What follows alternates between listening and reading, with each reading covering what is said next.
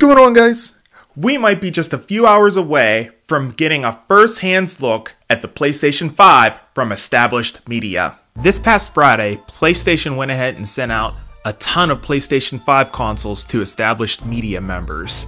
Those media members went ahead and tweeted out their photos of the box containing the PlayStation 5.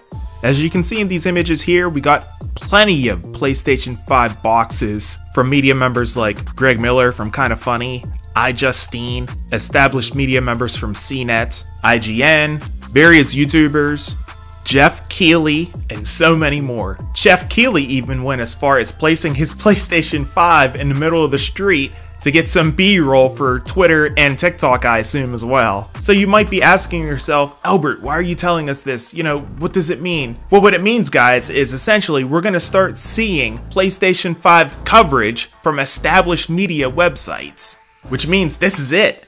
The official hype train is pulling away from the station and it's on its way to the final stop to your homes.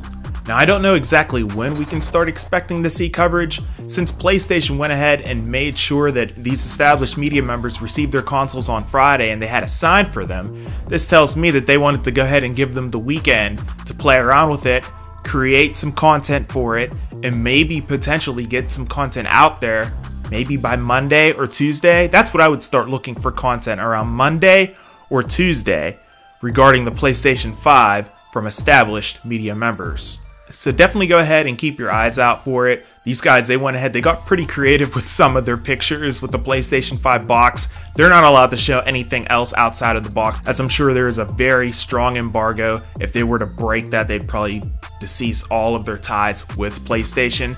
So that's why you're only seeing boxes right now currently. But rest assured, you guys are definitely going to see content from these guys, written and video for sure. So at the end of the day, get ready because it's media time. PlayStation 5 and two weeks away from launch, and we can't wait to get our hands on it.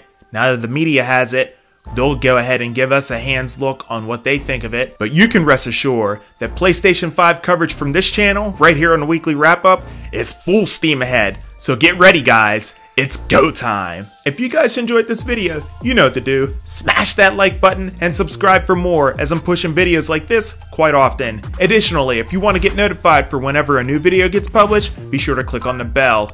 Keep your eyes out for PlayStation 5 coverage from established media. It's about to go down, guys. I'm Ated B. Albert Perkins, and we will see you in the next video. Until then, and as always, peace.